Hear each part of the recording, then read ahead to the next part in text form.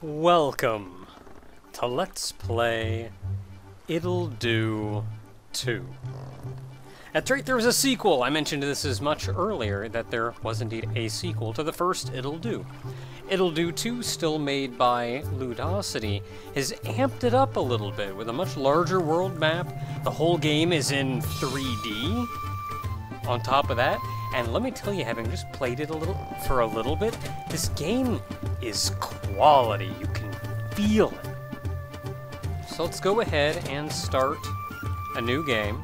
Um, I'll call my file name Ittle 2, I guess. Eden Carver, no!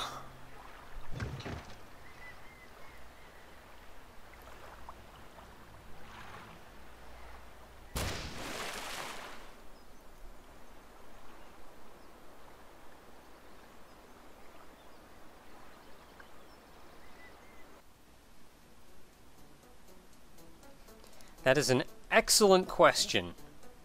And my answer is.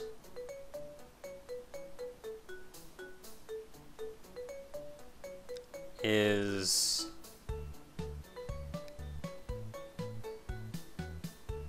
Who was driving?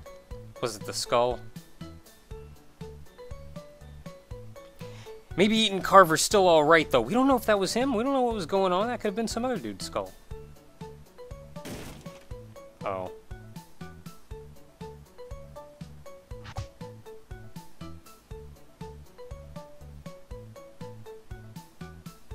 That we are, and we have come here for a grand time.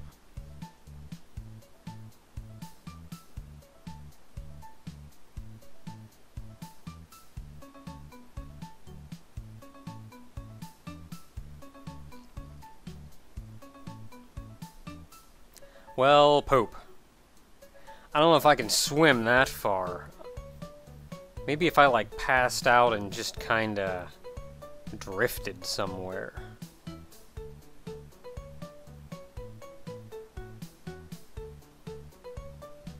Or that. I mean, we came here for adventure and a raft. That's like two birds, man.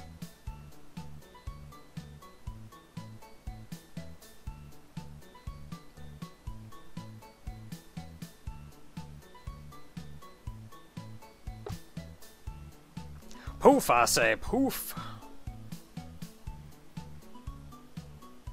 We're a certified adventurer. We can do what we want. As long as there's adventure involved.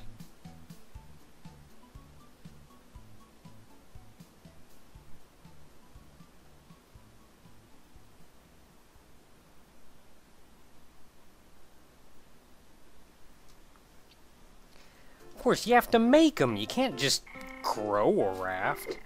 So we're here in Fluffy Fields. Look how fluffy it is.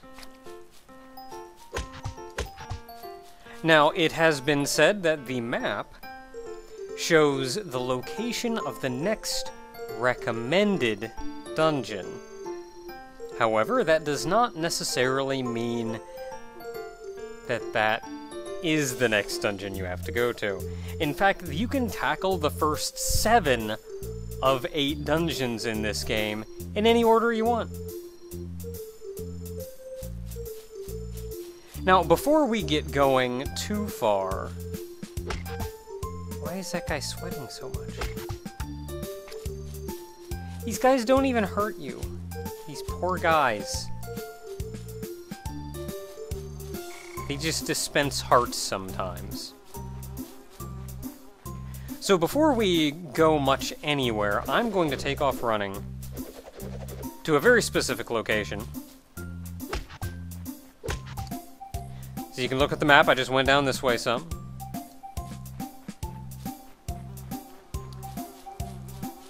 I'm running to the... you can also do this.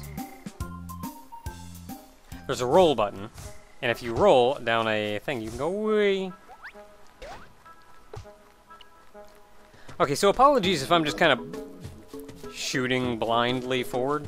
Um, I made a wrong turn somewhere.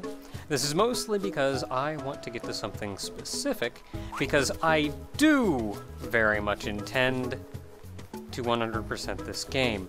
That's my intention anyway. We will, of course, see how well that works. But, um, if you do want to 100% it, there is something specific you have to do. And in that, I've already failed it. Hmm. So I'm going to blitz my sorry bot all the way here.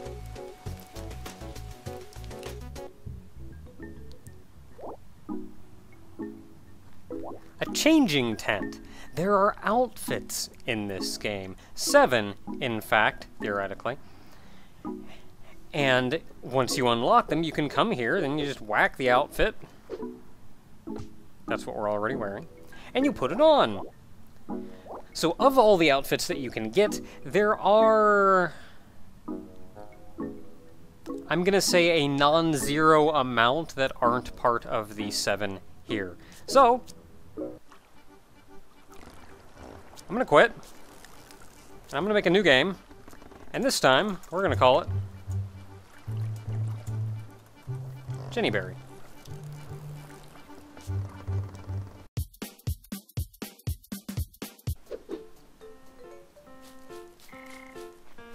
I'm Jenny Berry.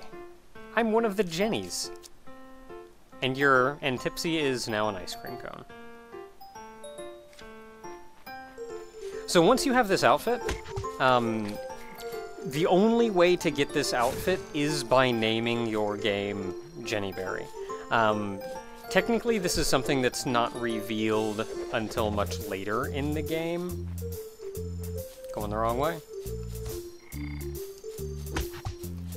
Um, it's technically not revealed until much later in the game, but if you do want a 100%, that doesn't mean you have to start with this. So we're starting here, and we're just going to cut out the middleman.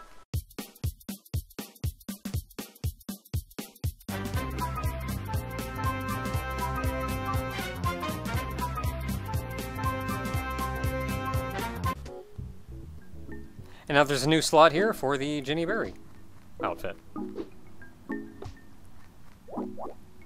But let's go back to Ittle.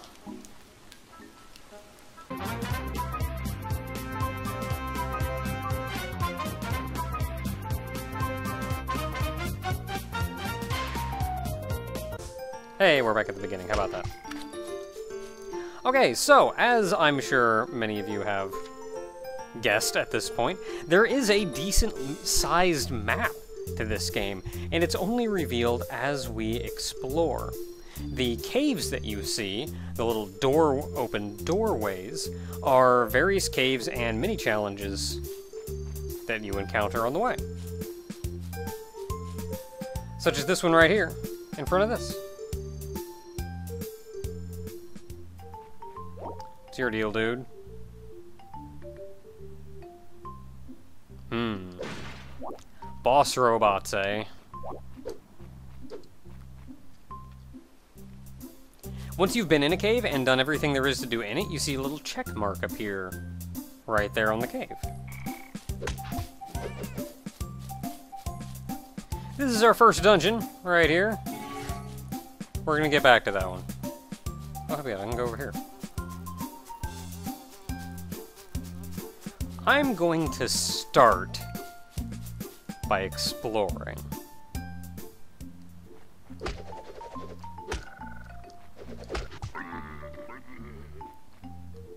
Hey there. I remember you.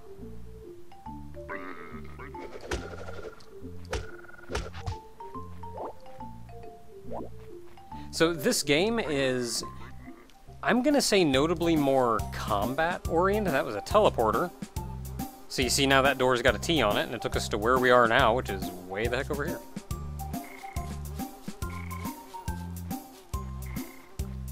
So there was a door just up here.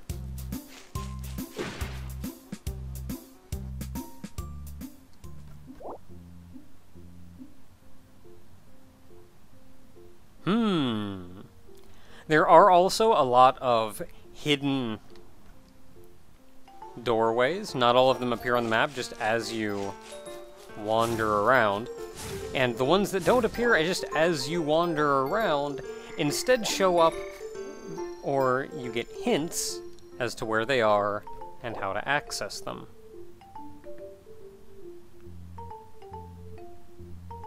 In the fields, eh?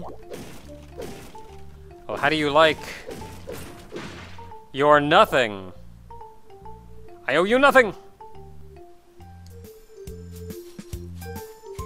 Okay, so in the fields, right? There's a secret out here?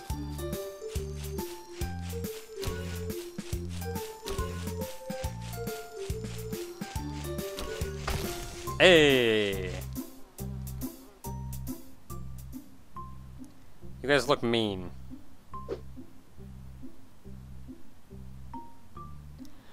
So these guys are the same as the spinning ones before that we saw. Thankfully, they also hit each other.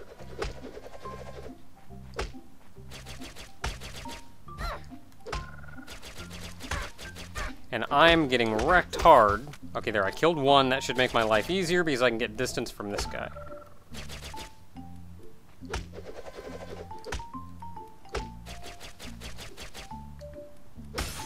Hey, I did it! Hmm. We'll find out, I'm sure.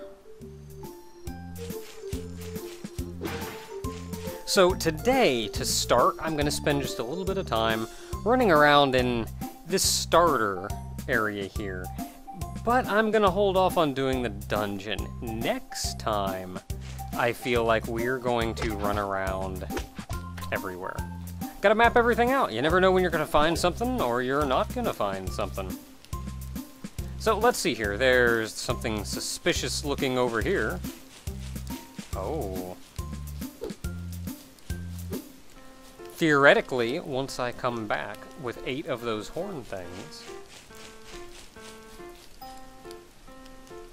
I can maybe do something. In the meantime, I... looks like we're going this way. Hmm. It's a fine looking flat candy cane, though.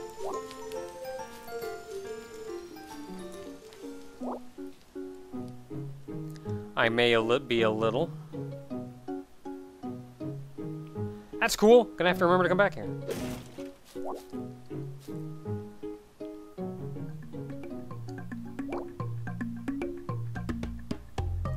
You shut up.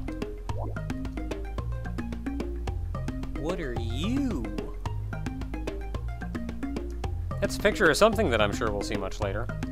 So Fudgio boxes.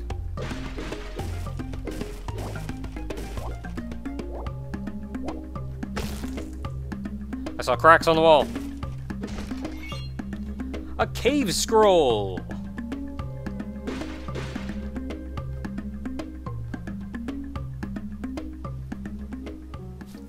So the cave scrolls, you can see the little green X on the map just a little bit above me to the left. Whenever you get a cave scroll, it shows you where an optional cave is. One of the ones that doesn't show up just by walking past it. Now, how difficult it is to get it to show up is a different matter. There we go.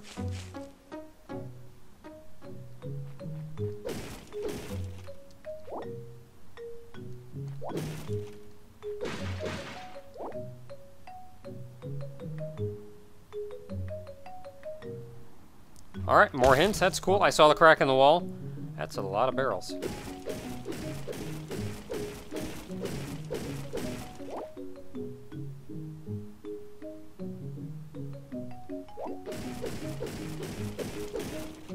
It's all for that completion percentage. And the joy of breaking a lot of things. But yeah, so we get out of that now. Got a little check mark on it. Alright. Cool beans. Okay.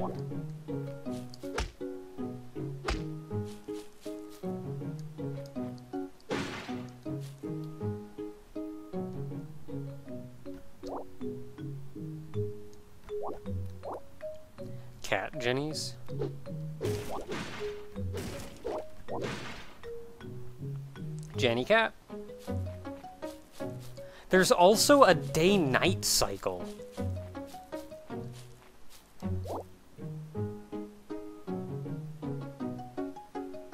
That's cool.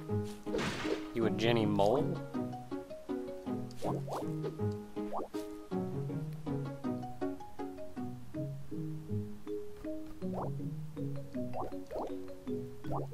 There are status effects in this game, so this is just a quick bit of info about what each one is.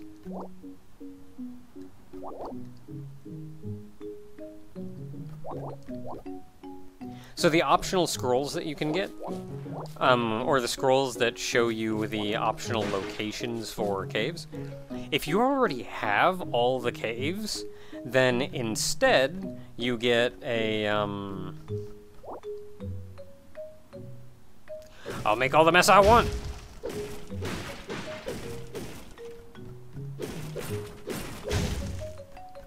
Making all the mess. You're welcome. I like you. I think her name is Lenny instead of Jenny. Fish bun tar. Ah, and the teleporter square. The warp garden. That's it. That's what it's called.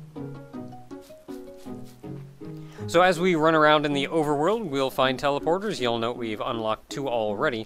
This one I just kind of ran by, sort of, while it was way off screen. But uh, this one is the one near the place with the changing room.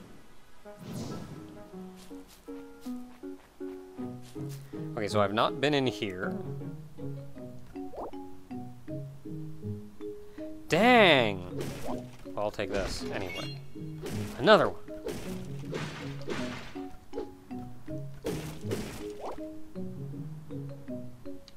Too bad.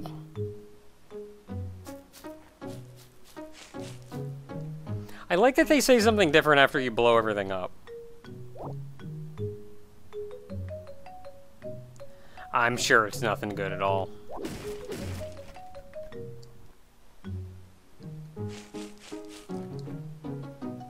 Okay, so I guess we've done most everything that there is to do down here. We've still got some more exploring to do, though, so let's go run around some more. We checked out the Jenny Town, the staff area.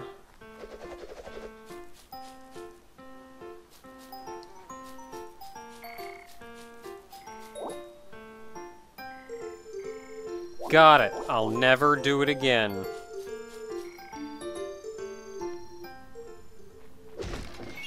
Hey, another one.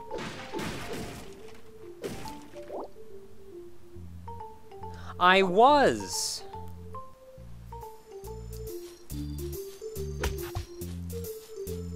I like that for the most part this game is pretty good at, um...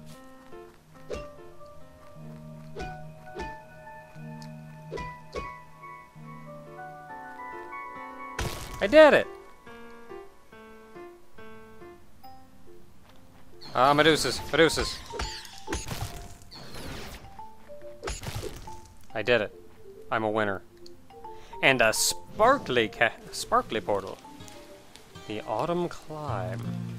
So this is its own little individual place. This isn't even on the overarching map. Oh, this place is also nasty because bees Bees! I'ma die. That's what I'ma do. I'ma die.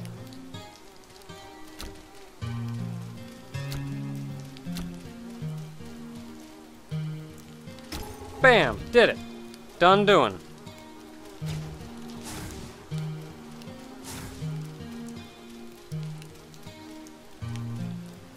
Give me that! I got a tracker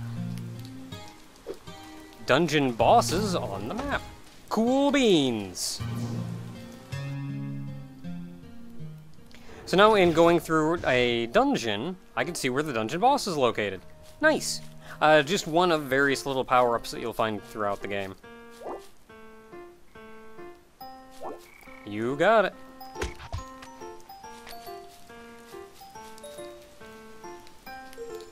Okay, so I could actually use a little bit of health. Because I kind of got beat up by bees. Yeah, well, I'm not doing that bad. Let's keep exploring. I'm going to hold off on going in that cave right now, up top, because I know there's a big mean guy in it, I'm going to get hit, so I'm going to wait until I have more life. Not like... Hey! Rude.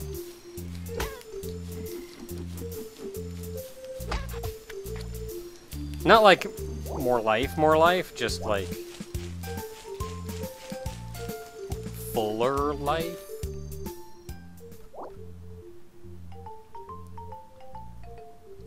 I do what I want. Can't just be telling me not to do something. Just makes me want to do it more. Look at me going. Yeah, open that cave.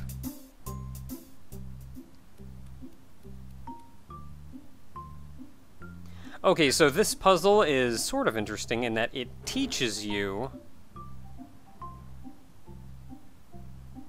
something.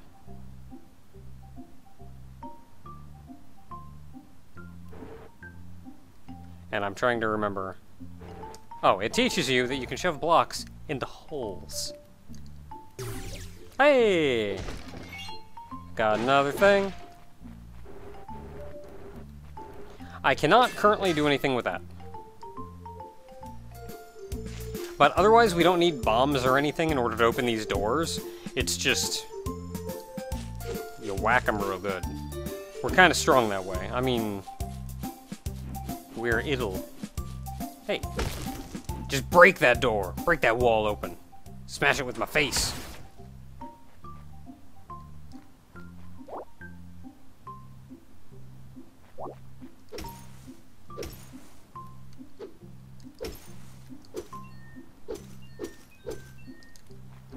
Okay, so another thing added to this game is that you can shove these crystals around.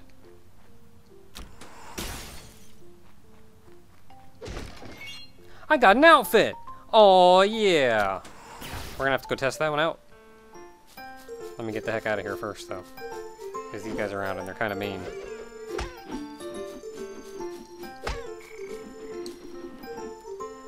Them all of them running around with their danger noodles. Okay, so the only thing left that I see in this area is right here to my right. What's that thing? The pillow fort, of course.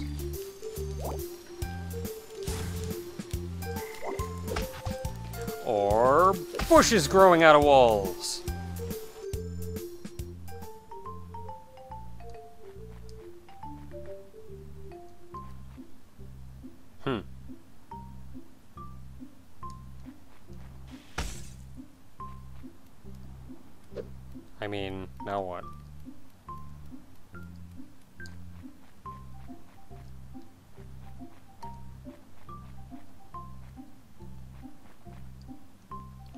Okay, so... We haven't met him yet, but there is at some point someone who teaches you that every single cave on the overworld can be solved with only the stick. That doesn't necessarily mean it's suggested, but you can. So, like, I know I can do that. I got a stick that's on fire. You can't walk into the fire like you can in... Oh, I know what I gotta do. Okay.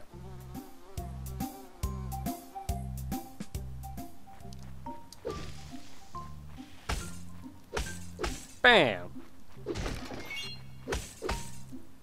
I got a lockpick! So if I ever, ever run across a locked door in a dungeon, I can kinda cheat it by just opening with one of these. That grass looked suspicious. Anything up here? Nope, just that teleporter. And I guess maybe if there's anything further up. But it doesn't look like there is. I mean, there may be. You never know.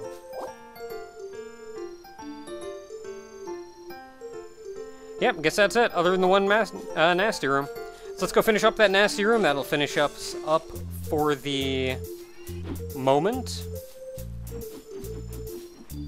It's not like nasty nasty, it's just, I don't know, I want to have more health than that. Never mind, that actually is kind of nasty. By the way, you see that smoke? This guy comes out and sort of chases you down slowly and shoots at you. It is generally annoying and kind of hard to deal with. You can't kill him, by the way. You're just gonna deal with him. Okay, so dealing with you is gonna be rough.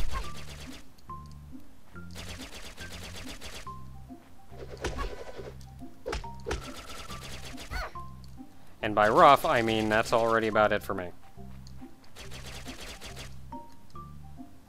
He doesn't give me enough time to, like, run up and hit him.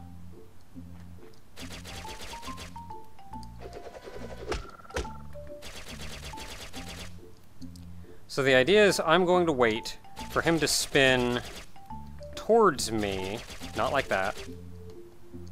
Wrong button.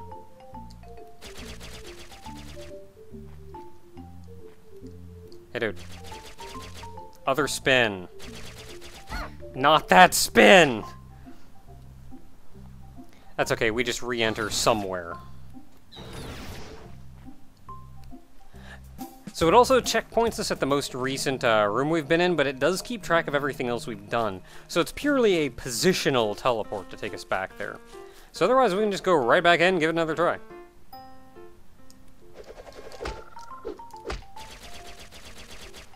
So I want him to do the spin where he spins at me. That one.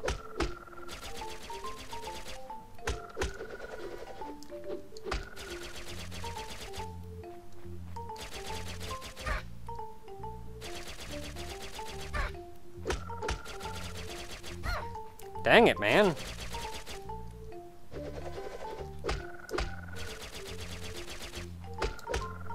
I can also get him after the directional one.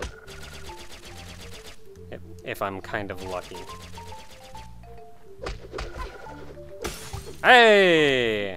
Okay, it was rough. Got another one of these.